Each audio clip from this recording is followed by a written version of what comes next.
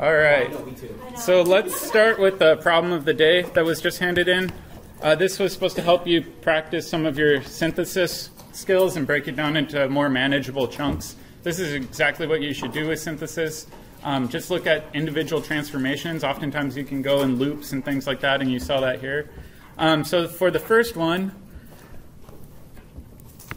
oh, come on. Let me get it going here. We would need 9 BBN, followed by hydrogen peroxide and sodium hydroxide. And when we do that, we do the anti-Markovnikov hydration of an alkyne, so it will add to that carbon. Let's just kind of work our way through here. If we go down to the alkene, we need H2 and Lindlar's catalyst. That's a question about that. Yep. For the first one, if you didn't use the peroxide, would it add into the Markovnikov side? Uh, no, you'd be stuck with your trialkylborane. Um, we didn't show the whole mechanism for hydroboration oxidation, but you'd be stuck there. Yeah. So you need H2 and Lindlar's catalyst. Alternatively, you could use dissolving metal reduction because we're not forming a cis or trans alkene. If you want to go back, there's two steps. First one's Br2. Second step's sodium amide. And you want to have excess, and then for part three, you want to quench it. And that part three step is important because if we're adding excess sodium amide, we can deprotonate our terminal alkyne and form our acetylide. We need to add in water to help reprotonate it. Otherwise, you're left with a salt. And we don't want the salt, we want the neutral organic molecule. All right, if we want to form this alkene, we can do it from our alkyl halide by using sodium amide. In that case, um, even if we add excess, alkenes aren't acidic enough to be deprotonated. They can only deprotonate alkynes. Uh, if we want to go from the alkene to the uh, alkyl halide, we need to do HBr and what else? Peroxide. Peroxide, because we're adding anti-Markovnikov. All right, if we want to do the uh, going to the alcohol, what reagents would we need? BH3, THF, whatever. Yep, hydroboration oxidation. So that's two steps, and it takes hydrogen peroxide and NaOH. If we want to go from our alkyl halide to our alcohol, what can we do? All we need is a nucleophile, right? So I would just use something like NaOH, right? It's a primary electrophile. It's not going to favor elimination. It'll favor substitution primarily, so you can just add in sodium hydroxide. If we want to go from the alcohol to the alkyl halide, Can, can there be other options for that one though? Yep, there are other options. You can do tosyl chloride and pyridine, followed by sodium bromide. So you have to convert that alcohol into a good leaving group and then displace a, a good leaving group with sodium bromide. If we want to go from our alcohol to our alkene, You have to have um, a non-nucleophilic base too. uh, for which one? After you do the chloride step, like you have to have a base. Yeah, so pyridine is our base. Pyridine's a weak non-nucleophilic base in that step. We're going to cover more reactions that involve pyridine today, and you'll see why it's important. All right, to go from our alcohol to our alkene, we have a couple options. Uh, one option is just to react it with H3O plus and have it be concentrated. Could you use something different on that one too? Yep, or you can do tosyl chloride, pyridine, followed by uh, a base. Okay, see why do you think base there not there? Yeah. For which one? Yeah, because for this one we want the elimination, right? Oh. Actually, excuse me. We in this case I wouldn't use sodium methoxide. Let's go back because sodium methoxide we could do substitution. Let's use DBU there. Okay. Good catch. All right, let's fill in the last two. If we're going from our uh, aldehyde to our alcohol, what reagent do we need? We saw this yesterday. Sodium Yep. And then don't you need the other And then we need some sort of alcohol solvent. So sodium borohydride will reduce an aldehyde to the alcohol.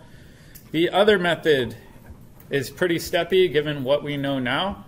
Um, you can go, let me just abbreviate these. I'll call this method A, method B, method C.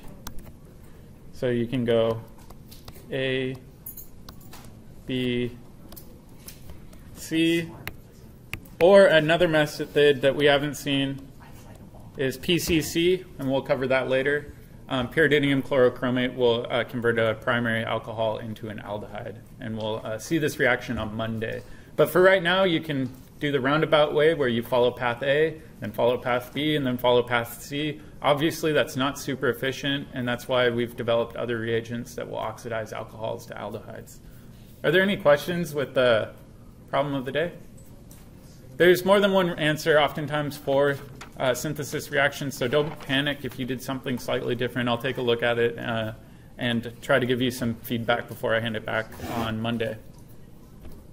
All right, so let's switch back to our reducing agents chapter and quickly review that. We already saw yesterday that you can do a reduction using catalytic hydrogenation. However, I said that nobody really does that method. It's a pain because you have to literally pressurize a thick uh, vessel with hydrogen. It's not inherently that safe of a process, not easy for scale up. And it's much, much easier just to buy a bottle of sodium borohydride, which acts as a hydride donor and can convert a ketone to a secondary alcohol or an aldehyde to a primary alcohol. And we said that we can't make tertiary alcohols with sodium borohydride because we can't actually have a ketone with a Texas carbon. They don't exist. So we can only make primary or secondary alcohols. And then we showed the mechanism where sodium borohydride transfers that uh, hydride and then gets protonated by the alcohol solvent or water. Um, and that's the overall method. We can reduce carboxylic acids and esters.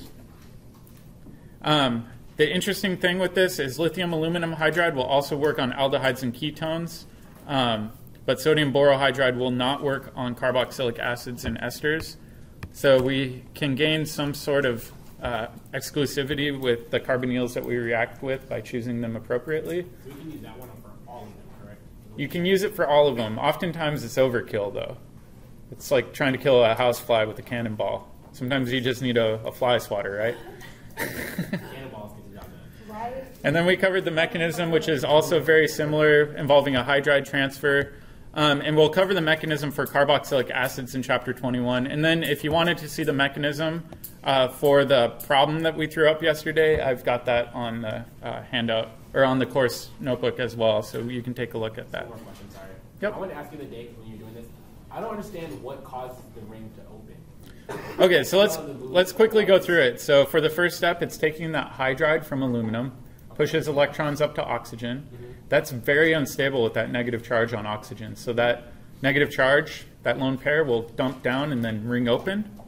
Kind of like um, the examples from um, the other, uh, what are they called? With the bromine and the oxygen. Or when you make the fluorine ion. Yeah. Oh, Yeah, it's kind of like that a little bit. Okay. So in this case, the lone pair from the oxygen kicks down, ring opens, and then we are left with an aldehyde. This can react with another equivalent of lithium aluminum hydride. And then the very last step is we protonate it with an alcohol. Oftentimes, people will use uh, ammonium uh, salts because ammonium is a very gentle, weak acid, and that will protonate your alcohols as well. And so in this case, you end up with a diol. And we'll talk a little bit more about uh, diols here. Diols we've seen um, already. So the main method we've seen for making diols involves taking something like an alkene. And we already saw this yesterday, and we can do osmium tetroxide followed by NMO. And if we do that, we get our syndiol. So that's all review. And the reason we call it a diol is just simply because it's two alcohols, so di, all is the suffix for alcohol. Conversely, we call it, we can use MCPBA followed by source of acid, and then we can get our antidiol.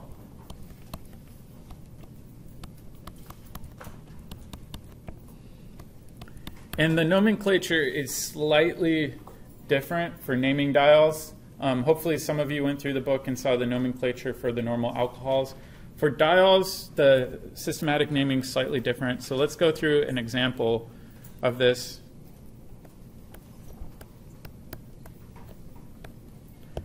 So when you name a diol, I'll just put a really simple one. You still want to number your longest carbon chain. So in this case, it's just one and two, right? So what's our parent chain? Ethane. So in this case, it'd be one, two, ethane diol. So we don't say one, two ethanol. We say one, two ethane diol to indicate that there are actually two alcohols on there. You could have a one, three diol. You can have a one, four diol. The numbers before um, just simply indicate where those alcohol groups are coming off. Uh, the other frustrating thing for a lot of people is the old terminology that's not uh, IUPAC or not uh, named using the IUPAC rules would be ethylene glycol. So you've got ethylene and then glycol indicates that it's a diol. So you may see either written. Um, try to stick with the IUPAC naming. It's much clearer. It's easier to follow. Um, but you may occasionally see naming where you uh, run into glycols. What's that? You can write G Y C L O or glycol. I think it's G Y C O L. I think it's, Yeah. it's glycol. Yeah, it's glycol. Um, it's a very common industrial solvent, which is why the naming never got switched to the IU, IUPAC name. All right, the other method that we've seen recently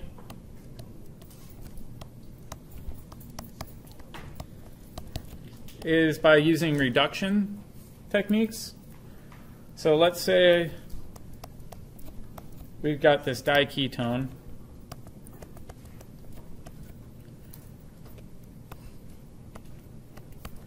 We can convert this to our diol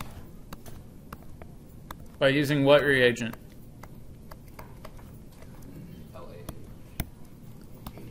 Yep, so one of them is we can use lithium aluminum hydride in excess, and then what do we need to do in our second step? Protonate it, right? So we need some source of protons. Usually water works, but sometimes you can add weak acid. What's the other method here that we can use? Sodium chloride. hmm So we can use NaBH4, and this can be in any alcohol solvent. So we can make diols using the reduction method that we learned about yesterday. In this case, both of them are ketones, so we can use sodium borohydride. If we want to really go over the top, we can use lithium aluminum hydride and uh, convert both of them. If they were aldehyde with the same word. Yep, aldehydes and ketones have the exact same reactivity for reductions, at least with sodium borohydride. All right, now we're going to switch topics to one of my favorite topics in organic chemistry. And this is Grignard reagents. So I've got a picture of Victor Grignard. I'd like to point out a few key facts about him. He got a Nobel Prize in 1912, and he's got the best mustache. Mustache. I can only dream to one day grow a mustache as epic as that. You need to show the picture. Now let's see what it's please. We used to joke that he didn't need to wear safety goggles because if he had a reaction explode, his mustache would just catch the shards of glass and protect his eyes. I've never seen a mustache that nice, but I'll, I'll get off this now. All right, so he won the Nobel Prize in 2012 because for a long time in organic chemistry, making carbon carbon bonds was really, really painstaking. And he developed a new technique uh, uh, where you can make a carbon carbon bond using simple reagents that are found in most labs. So I'll show you guys the reagent he developed. And people still call it the Grignard reagent.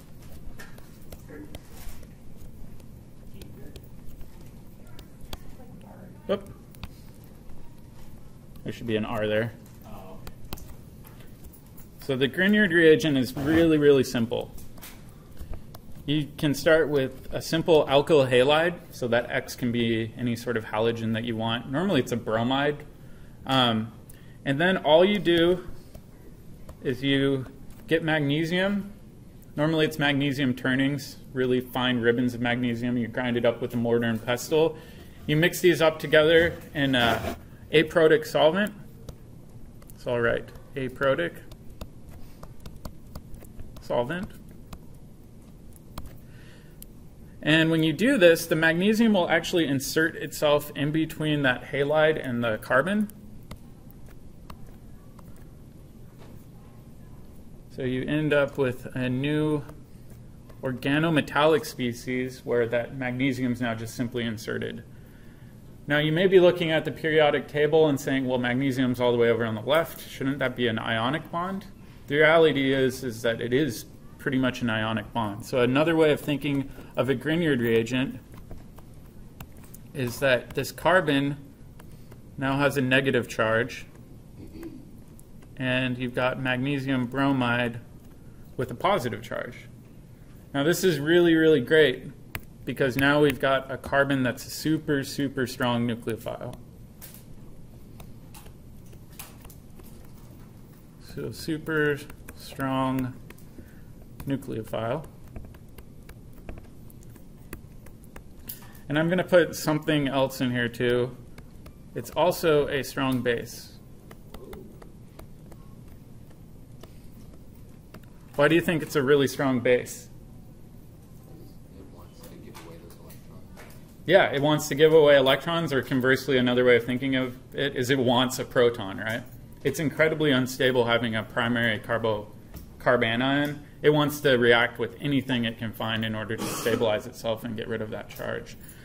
So the overall reaction that we can do with this is pretty unique. So let's write down the overall reaction. If we have a ketone or an aldehyde,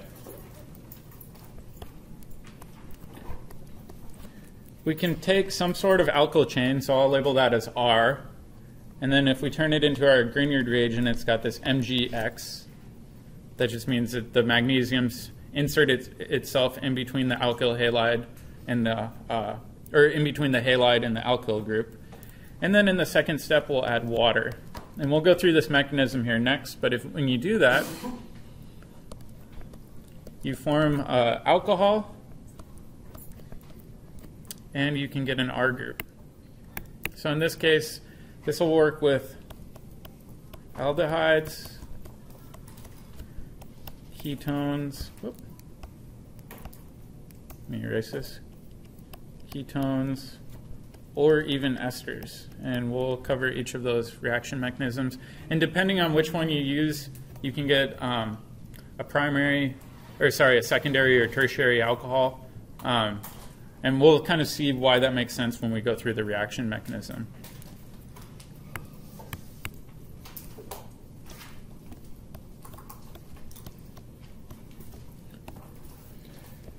So let's take the mechanism for this reaction. So if we have our alkyl halide, I'm just going to use an example one, and it's got that negative charge, and then you've got this magnesium bromide salt. And then in addition to that, you've got your ketone around. This ketone is a very good electrophile, right? The oxygen is electronegative. It's going to pull on those electrons in that bond. So you've got a net dipole. You've got a really good nucleophile, right? And you've got a really good electrophile. They're going to want to attack each other. So this lone pair will come attack that electrophilic site and dump up electrons. Now, if we keep track of all our carbons and all our electrons, you can see that you now have an oxygen with a negative charge. And the Grignard reagent has just simply added in. So we're not quite done. If you saw up above, we always have that second step of adding water. So now when we add water to this reagent, or to this intermediate, the oxygen will reach over grab a proton, and reform our base.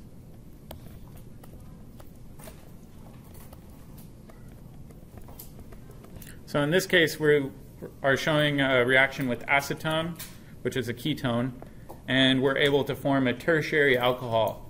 We were unable to do that using the sodium borohydride or lithium aluminum hydride method, but now we've actually formed a brand new carbon-carbon bond that we were unable to make before. So let's do a couple example reactions with this just to practice.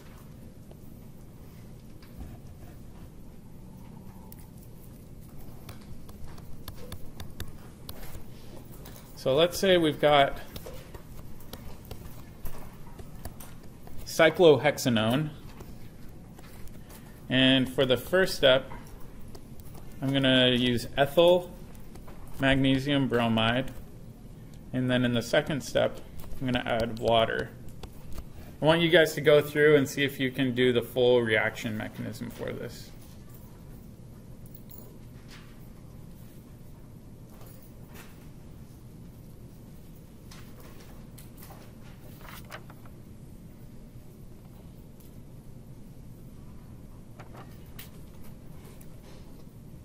I'll give you guys a hint too and draw up the ethyl group.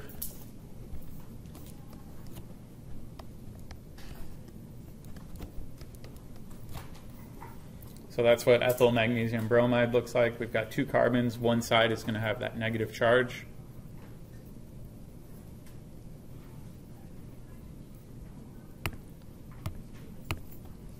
So what will the first step be? It's gonna come, the ethyl negative is gonna come. right? Yeah, it's going to attack that carbon on the ketone, dump up electrons.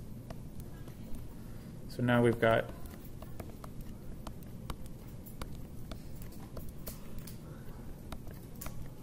this new reagent. And then we're going to add in some source of protons, and we can end up with a new tertiary alcohol that looks like that. So it's a pretty simple but incredibly useful reaction. Let's do one more. I'll leave this up here and then write the reagents down. So instead of using a ketone, let's use an ester.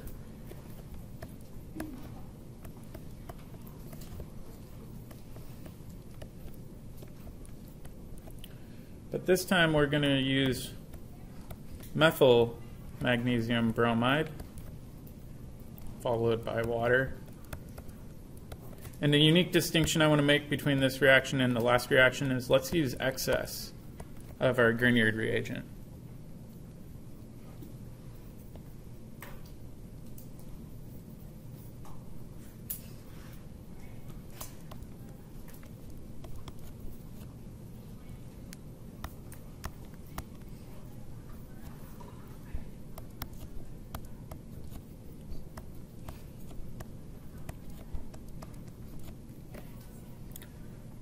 So first step, like always, will be our nucleophilic attack. This methyl with the methyl group with the negative charge. We'll add in, kick up electrons.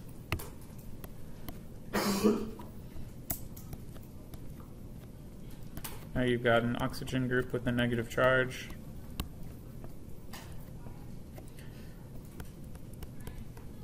Now, do we just protonate that alcohol? We saw this before with the sodium borohydride. It really, really wants to kick off a methoxy group, right? So the negative charge on the oxygen can kick down and then eject off a methoxide anion.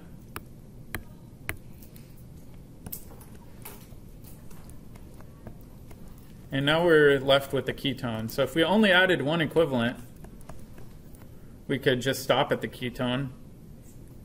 Oftentimes, though, people will purposely overshoot it and do it again, exactly.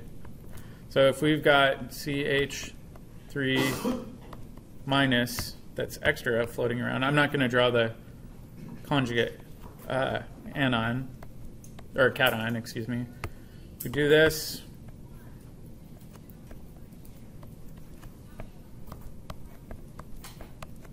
We get our negative charge.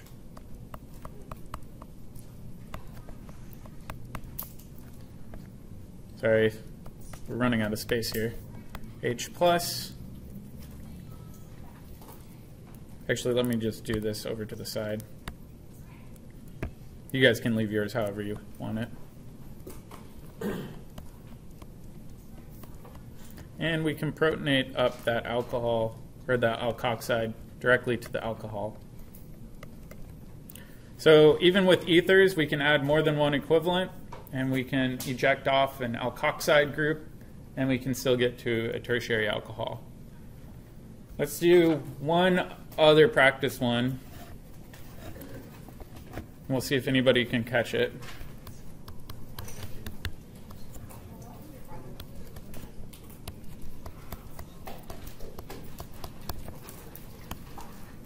Again, let's use methyl magnesium bromide followed by water.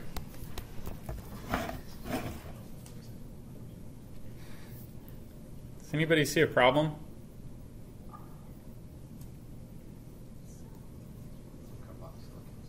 Will the carbon come in drop the proton?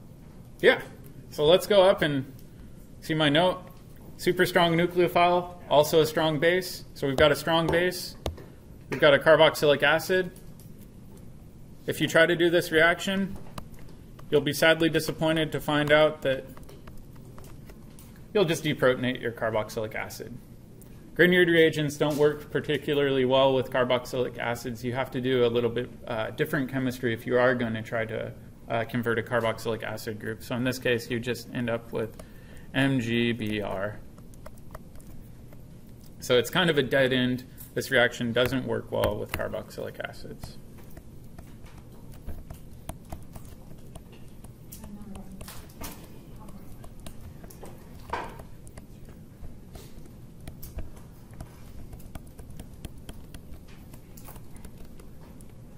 It's simply too basic.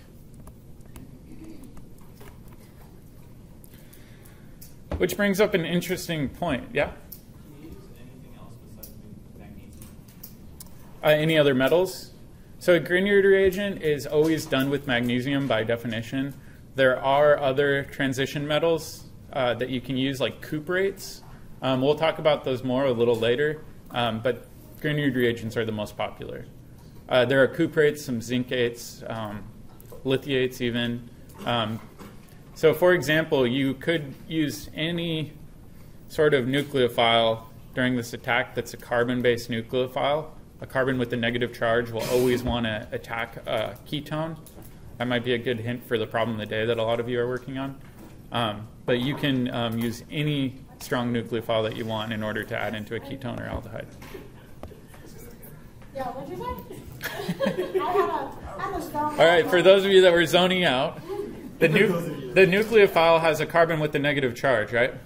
And it's adding into an aldehyde or a ketone. We can have any sort of carbon with the negative charge do that, right? So we've seen examples of how to make acetylides with the negative charge. Those can be great nucleophiles as well. It's not technically a Grignard reaction because it doesn't have magnesium in it, but it can be used to add into a, a ketone or an aldehyde. All right, so we said that this doesn't work well because uh, Grignard reagents are simply too basic. So we have to come up with a plan to try to mitigate this problem because oftentimes we do have acidic functional groups on our molecules, but we still want to be able to do Grignard reactions on them. So we're going to sidestep a little bit and talk about protecting groups.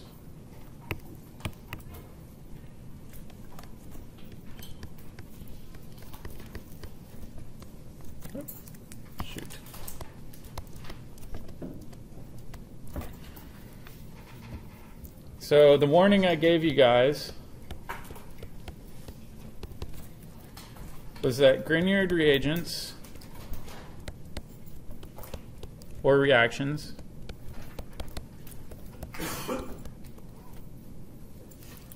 are incompatible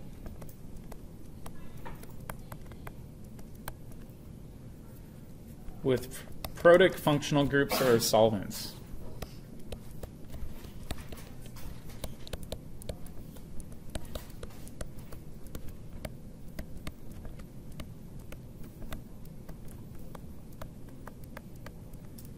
What does protic mean again? It has a hydrogen that's capable of hydrogen bonding, right? So alcohols, thiols, amines, things like that, they're relatively acidic. If we look at our pKa table, if we have a Grignard around, it will pull one of those protons off and just kill your Grignard reagent. So if we are going to do reactions like this, we have two important things that we have to remember. The first thing is use an aprotic solvent.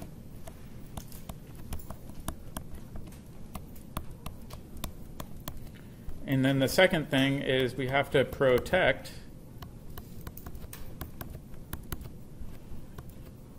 uh, any OH groups. Really, we have to protect any group that's capable of hydrogen bonding or any group that's uh, overly acidic that might get deprotonated, but we're going to primarily focus on protecting a hydroxyl group. So in this case, there's a special trick that we use.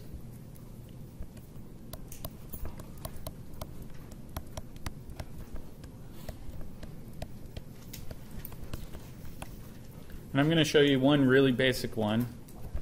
So if we've got an alcohol, we can react to this with trimethyl silyl H3. I'm going to move this arrow down a bit. CH3 with the chlorine. We've got oxygen, which is a decent nucleophile, right? And we've got this chlorine, which is very electronegative. So there's a dipole here. So this oxygen will sneak in, do a backside attack on that silicon, then kick off our chlorine. Usually this reaction is done in triethylamine. So I'll write NET3. And so when we do this, we now get a new bond between oxygen and silicon. CH3, CH3, CH3. Isn't that this is kind of like very hindered? It is. And so we'll talk about that. The very last step that we have is we've got this triethylamine that's basic. This will dump down electrons.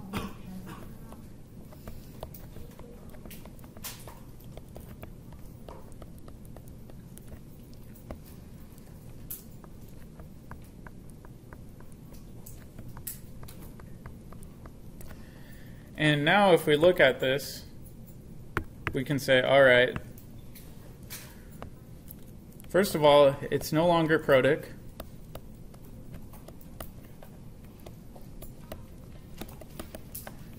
And it's sterically protected.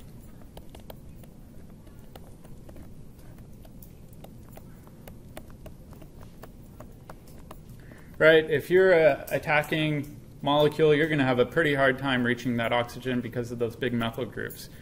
There's actually a whole variety of silicon based protecting groups, probably about a dozen of them. There are some of them where those methyl groups are even replaced, two of them are replaced with tert butyl groups, and that gets even bulkier so that it's even more stable. So we can uh, tune our protecting groups um, by using sterics and by blocking that oxygen with some sort of oxygen silicon bond. The problem is we want to get this off, right? Because eventually we want our alcohol back. This is just a simple protection step to allow us to do a Grignard reaction, and then we want to remove it in the end. So we have to find a really, really tiny atom that can sneak in and then pop off the silicon group. So if we look at the periodic table, what's the smallest atom with a negative charge that can act as a nucleophile? Fluoride, right? Because fluorine's electronegative, it has a negative charge. It's super, super tiny. It can actually sneak in. And so if we add a source of fluorine in, whoop,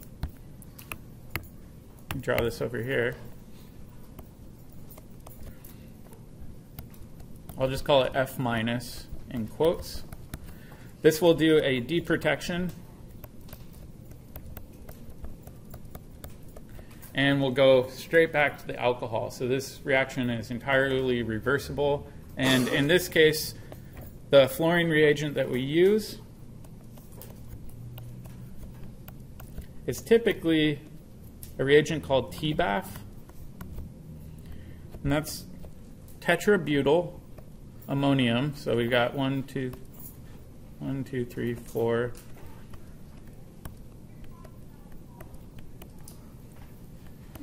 That right? Yeah. So that's our tetrabutyl ammonium. And then we've got our fluoride.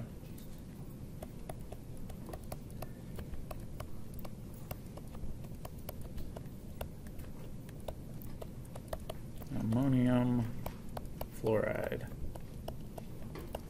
And this is just a really nice way of getting um, a fluoride anion without having to use something like hydrofluoric acid, which is super nasty to work with. Tetrabutyl ammonium fluoride you can actually buy in a solution, or you can buy it in a powder form and just put it directly into your reaction mixture. All right, so let's see an example of this in action.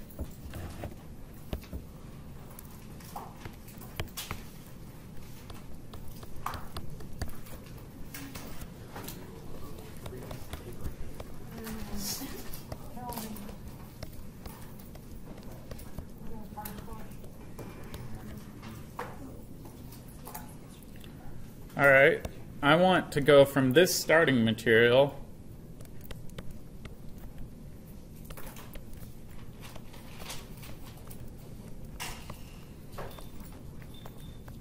all the way to this alcohol. So the question is, can we convert this or this aryl bromide into a Grignard reagent? No. So let's try that. I'm not saying you're wrong. so we'll add magnesium metal. We get MgBr positive on it.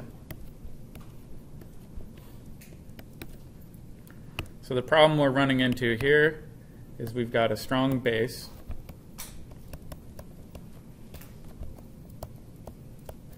And we've got a protic site.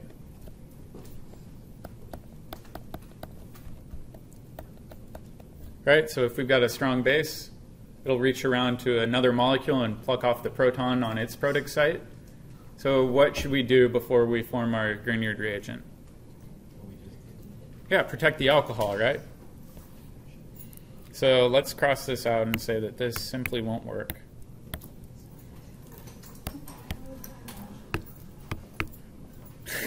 I hear everybody sigh whenever I cross something. You can leave it in there. I'm crossing it out just to make a point, right? so also the other thing too is oftentimes people get sick of writing this out, so they call this TMSCL. I know it turns into an alphabet soup after a while, but it just means trimethyl silyl chloride, right? So we've got three methyl groups on the silicon and we've got a chlorine. It's a lot easier than writing the full molecule out. Was it C or CL on the end of that one? CL. Did I write C? Oh, yeah, CL. All right, so in this step, we'll add in trimethyl silyl chloride. And this should be done in a base like triethylamine. The other nice thing about triethylamine is it's not protic, right? There are no protons on it that can hydrogen bond because it's fully alkylated. If we use something like ammonia or diethylamine, then we would have protons that could be abstracted. So we have to use an aprotic solvent. And then also, instead of drawing out the whole silicon protecting group, a shortcut that most chemists use, let me move this over. Shortcuts that most chemists use is they just simply write TMS. So just TMSO means you've got a protected alcohol. Now what we can do is react this with magnesium metal.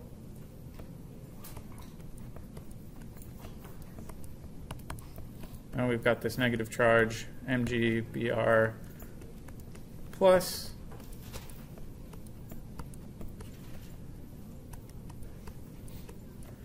Our alcohol is nice and protected.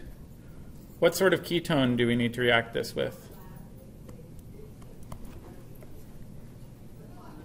If we look at our final product, we have a ketone and then we've got two new carbons. So the ketone needs to have two methyl groups coming off of it, right? So we'll just react this with acetone. So that'll be our first step. And then our second step will be to react it with water to do our deprotonation, or sorry, our protonation.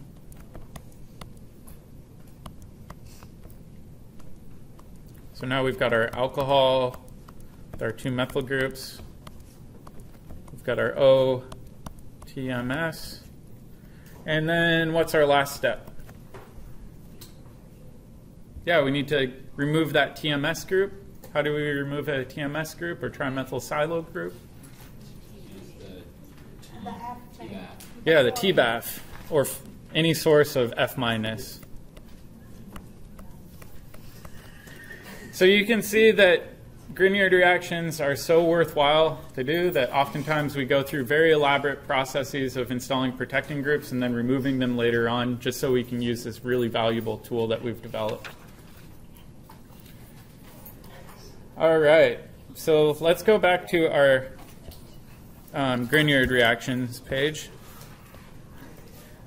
And I want you guys to help me with some synthesis problems. Oh, no. No, you help us?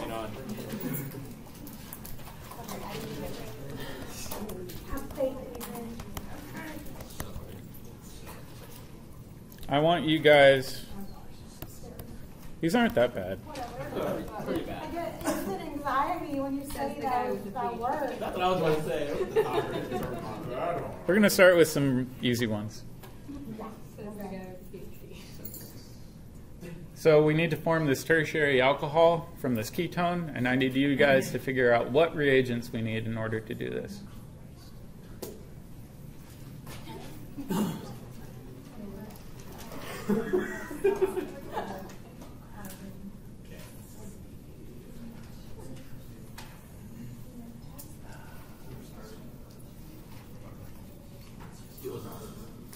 Oh, you can, or is it? Yeah.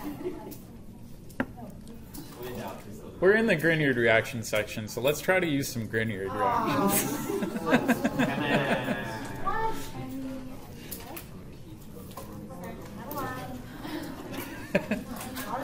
Everybody's trying to do ozonolysis of alkenes. It's your crutch, I know.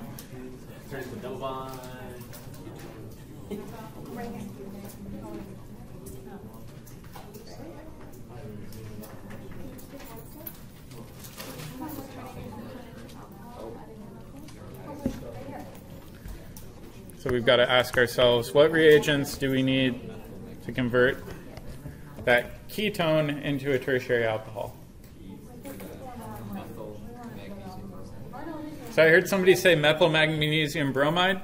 A really good thing to look at is we've got one, two, three, four, five carbons there, right? Now we've got one, two, three, four, five, six. That means we added in some new source of carbon. In this case, it's only one carbon long. So we're going to add methyl magnesium bromide. How would we make methyl magnesium bromide if we only had methyl bromide? Throw some magnesium in there. Throw some magnesium in there, exactly. So that's the first step. The second step would be to add some water to protonate it. So this is turning what was a pretty complicated reaction involving ozonolysis into a two-step reaction. So we're gaining a, a really valuable tool. Let's try to see, is there any other way we can use a Grignard reagent to make this tertiary alcohol? But of course there is. Yeah, of course there is. Yeah. So instead of using that starting material, can we use a different combination of starting materials and reagents? Uh, I feel So you can make ketone. hmm Use uh, aldehyde. Well, you can use a ketone, just not the same ketone. An aldehyde. I'm, I'm asking you guys. You don't ask me back. I don't know. it's so easy to give up. It's, No, it's way I'm easier over to give it. I'm over it. Abby, my brain hurts. Got like a minute left. I know, I feel like you didn't give us a lot. I think we need to take it easy on it. What if we started with acetone, That's what I said. and instead of doing that, That's what I meant. Huh? MGBR followed by water? So oftentimes there's more than one way to go about doing these reactions, right? So if we look at this one, we've got one, two, three. Our final product needs to have six carbons, so we need to add three carbons in somehow. So in this case, we're adding propyl magnesium bromide in order to install um, three new carbon atoms in a linear chain. So you can do a lot of cool reactions with uh, Grignard reagents.